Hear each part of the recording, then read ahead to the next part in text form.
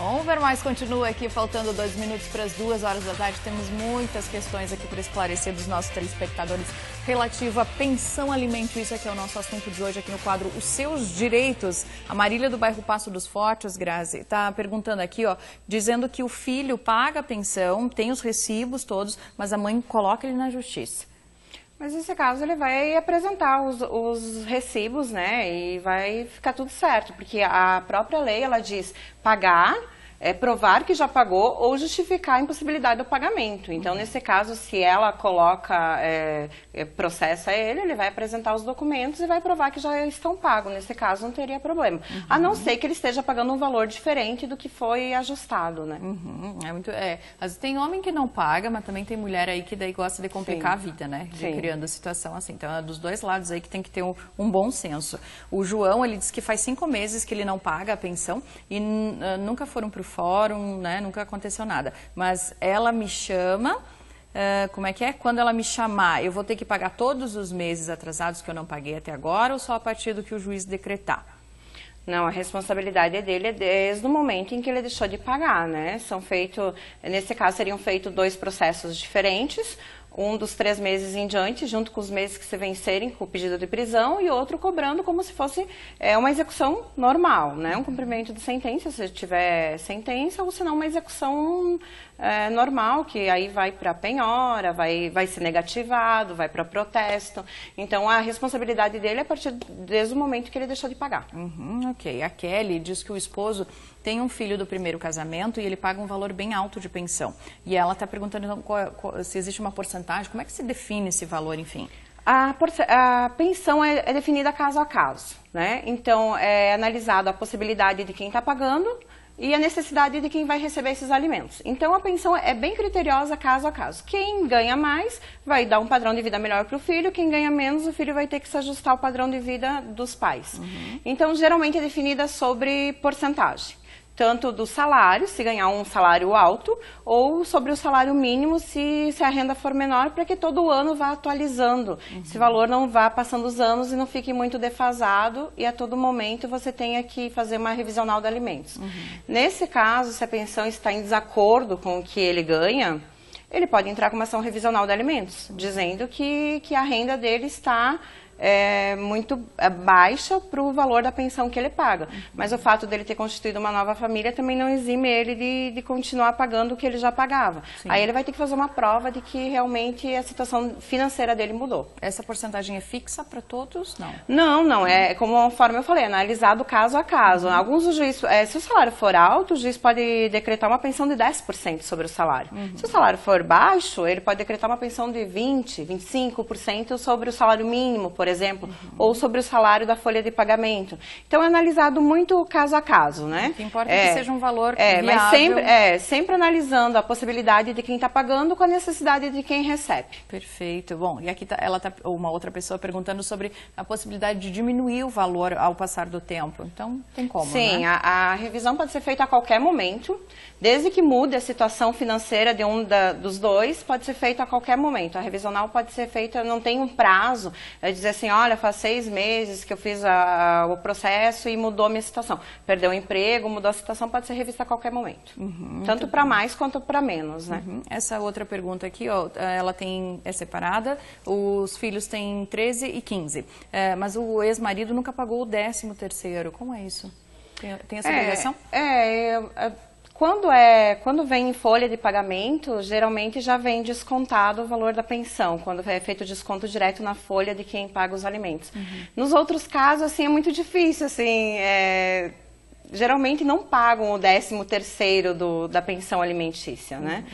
É, também não diz, a lei também não diz que tem que pagar, mas Acho que aí vai sempre um pouquinho do bom senso, né, uhum. dos dois. Olha, ganhei mais, eu vou ajudar um pouco mais meu filho esse mês, uhum. né?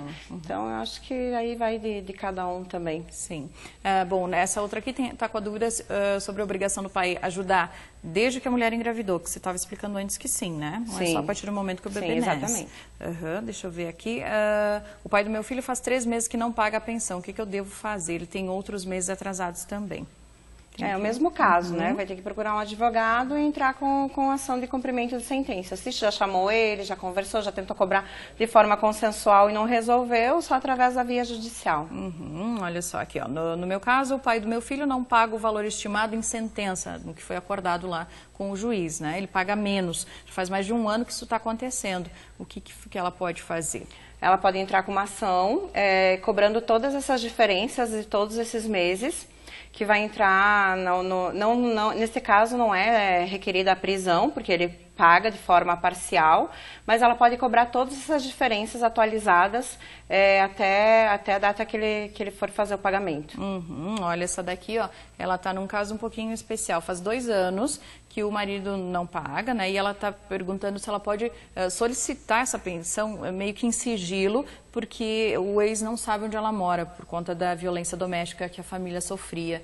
Como é que faz nesse caso? É, nesse caso, se ela tem alguma medida protetiva, todos os processos é, de família que envolvem menores, eles correm em segredo de justiça. Então, ele só vai ficar sabendo do processo quando ele for intimado. Uhum. Né? Mas nesse caso, a gente sempre indica o endereço das partes. Se ela tem uma medida protetiva, pode ser informado no processo que deixou de indicar o endereço por conta dessa, de, dessa medida protetiva, né? Uhum. E aí vai ser intimado sempre o advogado dela é, e o advogado vai repassar a ela. Mas o processo corre em segredo de justiça. Se ele entrar no site do TJ e tentar consultar, ele não vai conseguir visualizar nada. Uhum. E se ela não tiver a medida? Pode encaminhar assim também? É, ela deve ter, é, se ela disse que sofreu agressão, ela deve é. ter um boletim de ocorrência, alguma medida protetiva, né? Mas o processo pode ser informado, que deixa de, ser, de, é, é, de, de informar o endereço por conta de, dessas agressões uhum. e pedir que seja intimado na pessoa do advogado, né? Que o advogado já, já representa no processo para que, que seja intimado e, e sempre tenha ciência e cientifique o, o seu cliente, né? Uhum, entendido, muito bem, vamos lá. Nesse caso aqui, ó, é, quero saber se o pai, mesmo não tendo carteira assinada, ele tem que pagar pensão. Sim, sim. O pai não precisa ter nem emprego. Mesmo estando desempregado, ele tem a obrigação de pagar pensão alimentícia, né? Então, mesmo ele sendo autônomo ou não tendo carteira assinada, só não vai ser descontado. É, um, ela vai ter um meio a menos que, quando é descontado na folha de pagamento, é muito mais fácil de receber, né? Uhum. A empresa já faz esse desconto, já repassa direto na conta da mãe. Então, é muito mais tranquilo.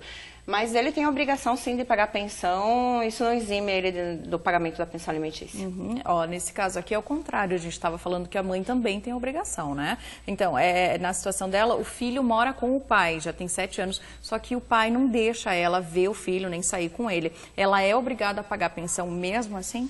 Sim, uma coisa não tem nada a ver com a outra. Até mesmo os pais que não pagam pensão têm direito a visitar os filhos. Você não pode é, privar o pai de ver o filho por ele não estar pagando a pensão, e do contrário, a mesma coisa. Ela deve continuar pagando a pensão, porque se ela não pagar, ela vai sofrer um, um processo e ela tem que entrar com uma ação de regulamentação de visitas, né? Ela tem o, o direito também de conviver e visitar os filhos. Tá, olha aqui, ó. Uh, nesse caso, a filha já se casou, né? A pessoa que teria direito à, à pensão já se casou, aí ela e o pai conversaram e entraram num acordo que não precisa mais fazer o pagamento. Tem que, tem que ser via judicial ou pode ser só assim informal? Não, o acordo, o acordo entre as partes é para ser cumprido, então o acordo é válido. Mas eu sempre oriento, não, não necessariamente é, que seja judicial, mas que documentem sempre isso, né? Que uhum. façam através de um papel, é, que seja registrado, para que depois, se o pai sofreu uma execução, é, ele comprove que ele acordou isso com a filha. Ela já é maior de idade, já, tem, já se sustenta, então, teoricamente, ele não tem mais obrigação de pagar alimentos. O correto era que entrasse com uma ação de exoneração. Uhum. Ela vai concordar, porque já acordaram isso, então vai ser um processo mais simples. Mas mesmo assim, mesmo eles tendo acordado, a minha orientação é que sempre seja documentado. Uhum. Porque a situação daqui a pouco muda e, e aí gera os conflitos, é né? É oficializar, né? Sim. né?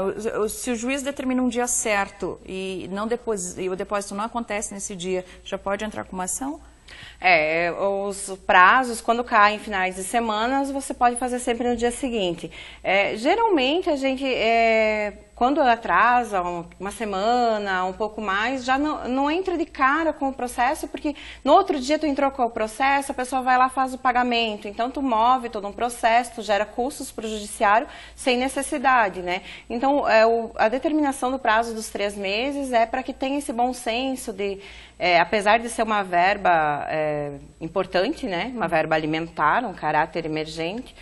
É, então, a gente sempre ah, é, pede que espere um tempo razoável para que não se movimente um processo, no outro dia ele vai lá, paga, você tem que informar no processo que ele pagou. Uhum. Então, movimenta todo o judiciário, gera um custo, né, uhum. sem, sem necessidade às vezes, né. Uhum. Então, tentar conversar antes, chamar a pessoa, ligar para tentar um acordo. Sim, gente, nós temos inúmeras perguntas aqui, mas infelizmente o nosso tempo está terminando.